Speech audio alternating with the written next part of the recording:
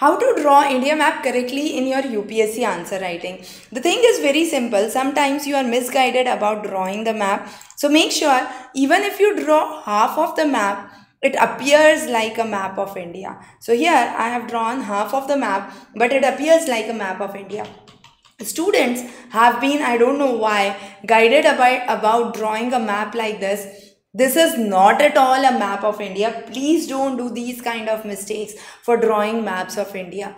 Be very particular if you are able to draw the complete map, well and good. If not, just draw half of it. But whatever you draw, draw it with accuracy to make sure you are a learned person.